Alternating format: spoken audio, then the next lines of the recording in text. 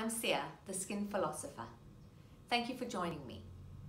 Today I'd like to discuss a topic with you when it comes to dealing with the skin and you are presented with two options. One option is a heat-based device, piece of equipment, to treat the condition as opposed to a cold-based device. And what I mean by those two are when you're dealing with the skin, let's say it's pigmentation and you want to remove it or a sunspot, you can generally have two different types of technology. You can go to a dermatologist and have it frozen off, or you can also have it burnt off. When coming and treating cellulite, there's also two options today that we have on the market. One is a heat-based device, like radio frequency, and the other is cryo freezing. So again, you have those two options of heat or cold.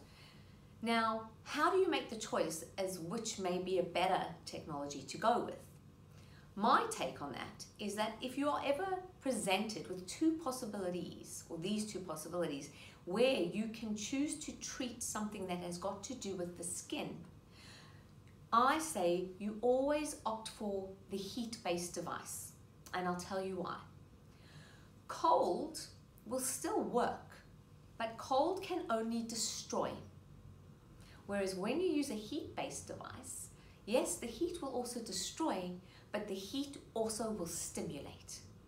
And when the skin is wounded, you want an increase in circulation.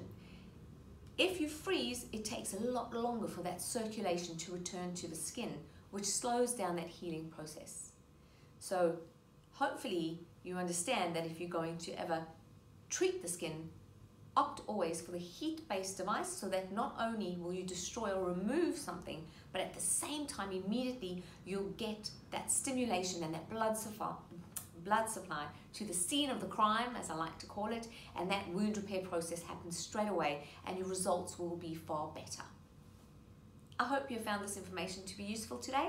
If you do have any questions, please feel free to comment below or ask me any questions and I look forward to seeing you soon. Thank you.